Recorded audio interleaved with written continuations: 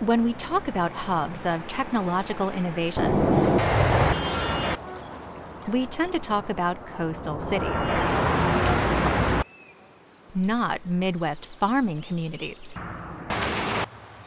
So it might come as a surprise to some that the future of energy independence was not built with silicon, but with repurposed steel in the center of the country. In 1987, the Broin family traveled from their family farm in Minnesota to Scotland, South Dakota to buy parts from an auction at a shuttered ethanol plant. But the price was too good to pass up, so they purchased the entire plant.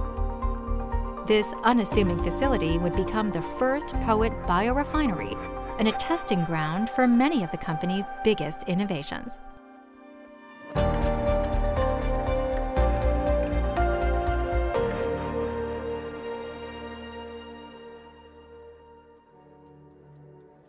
Soon after taking on the role of managing the Scotland facility and making it operational, it became clear to Poet founder Jeff Broin that it had the potential to be more than just an ethanol plant.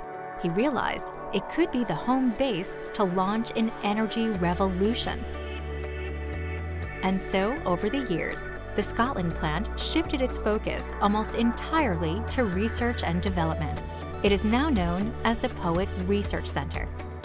The Scotland plant has been instrumental not only launching the technology that became all the Poet plants you see out there today, but still today is extremely important in driving everything we discover in our lab to a commercial scale. POET's advanced research facilities provide POET engineers and researchers a rare opportunity to see their work move from lab scale to pilot scale and on to commercial use. The spirit of innovation has manifested itself into a company wide culture that impacts all departments and the work they do. Poet's patented no cook BPX biorefining process not only results in energy efficient biofuel production, but gives way to more unexpected solutions like Jive, an eco friendly asphalt rejuvenator that heals aging roads across the country without harmful petroleum based chemicals.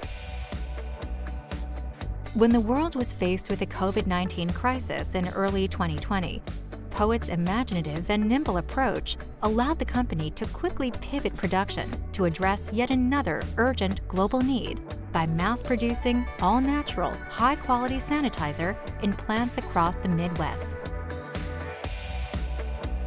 While the company's reach is now global, Poet's commitment to efficiency and renewable energy begins at the source by powering their plants with waste wood, landfill gas, and steam turbine technology, and by utilizing a hyper-efficient total water recovery process.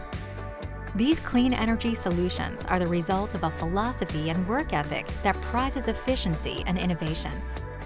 And for every world-changing idea or technology Poet has already introduced, there are countless more in development.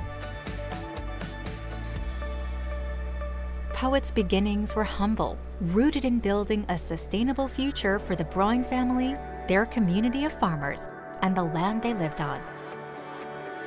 Today, Poet is a global presence with thousands of employees working to solve the climate crisis with clean burning biofuels, renewable bioproducts, and a host of other intelligent and practical tools they've enhanced over three decades. Just like the Broin family saw an unlikely opportunity in that abandoned ethanol plant so many years ago. When the innovators at Poet look ahead today, they continue to envision more and more opportunities to create a brighter, more sustainable future for us all.